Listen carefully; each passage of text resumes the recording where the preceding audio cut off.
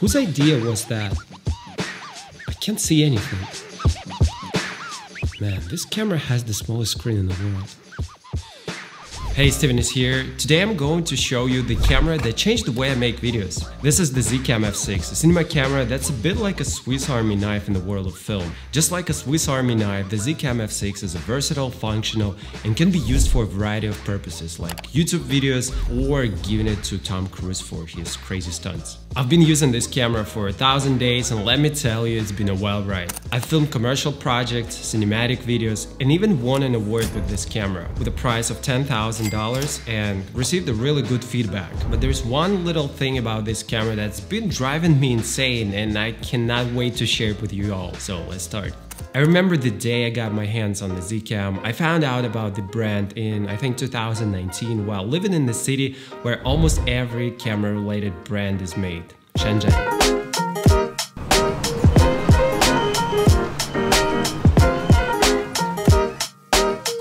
So while going crazy roofing and making commercial videos, my friend Walter got in touch with Zcam and took one camera for a test.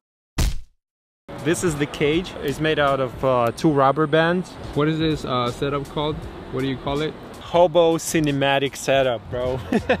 Fast forward, we took it roofing, filmed on the islands in the Philippines, and then I decided to buy my own full frame Zcam F6 because before we tried just micro four thirds and I wanted that full frame look. The best thing about this camera for me is the video quality, of course. The dynamic range, oh my god, it's so good, and I just like the way the footage comes out of this camera it doesn't require any editing or color grading basics. So if you film with the Sony cameras, you know how sometimes colors are a little bit messed up. You need to spend some time in order to get the footage done. But with this camera, you just drag and drop their plugin and it looks so good and it's very time efficient for me. And this is very important because when you edit a lot of videos for clients, you need that quick turnaround. You just edit, color grade, give it to a client, edit, color grade, give it to a client. You don't have that luxury of time. This camera is just weight off my shoulders. You can film slow motion in 6K or use this resolution for interviews and then just crop in and use it as a close-up angle. Though whenever I want to save space, I just film in regular 1080 and the camera can go forever without overheating. It's perfect for podcast, interviews or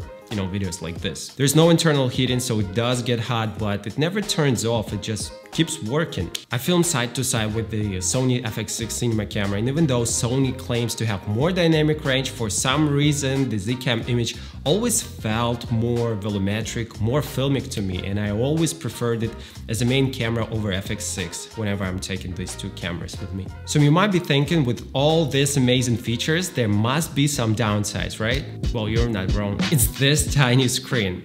This funny little monitor makes it impossible to use the camera without an external one. Or is it? Worry not, there is a solution.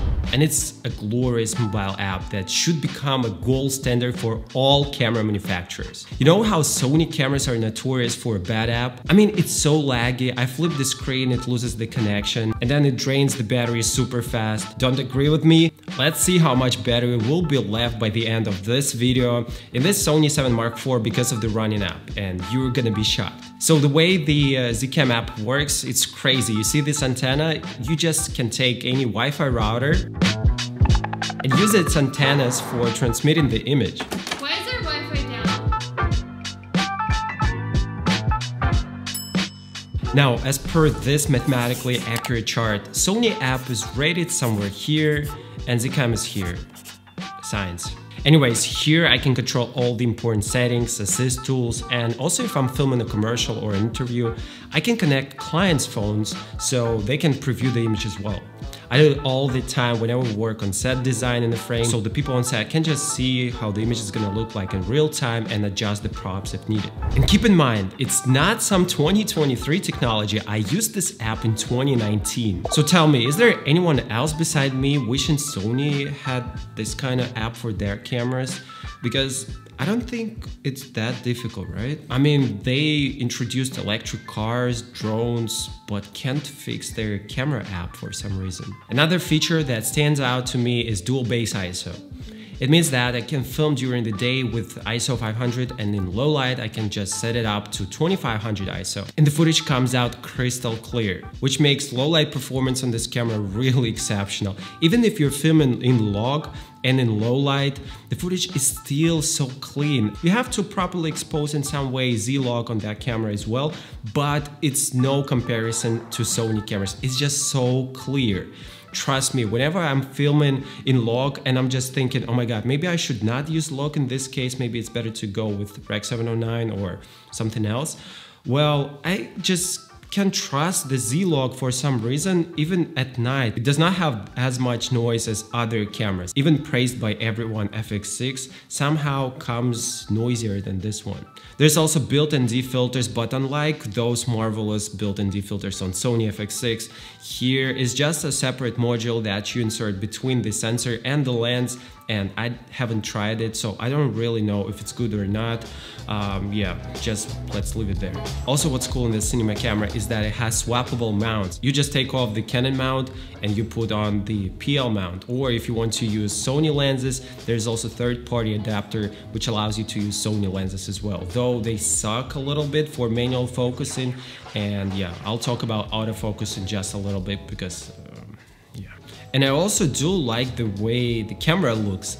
Whenever you go on set and when you're filming in the studio or outdoors working with the actors, whenever they see you working with the camera, even though Sony 7 Mark IV, 7S III record really good videos, but they don't make as good of an impression on people as this camera. It just looks more professional on set, people love the way it looks, and I use this camera all the time whenever I need a props camera in the frame. Uh, yeah, you can see, it just looks cool in the frame, it looks more professional, more cinematic filmmakery, I guess. But personally, I don't care that much about the looks, uh, it's just people's opinion, you know what can I do? Also, this camera has crazy battery life. When you're not filming, it's just on, but in standby mode, it can go forever with this NPF batteries, and it's really power efficient. However, despite all of these positive things, this year I'm gonna sell this camera. And this brings us to the cons section. This camera has no autofocus. Well, technically there is an option to click on a subject on the screen through the app, but it's only good for product videos or interviews like this when the subject isn't moving much. But then again, that's pretty common for most of the cinema cameras. They don't have autofocus, right? Another thing, if you want to film in camera raw, then this camera might not be the right fit for you.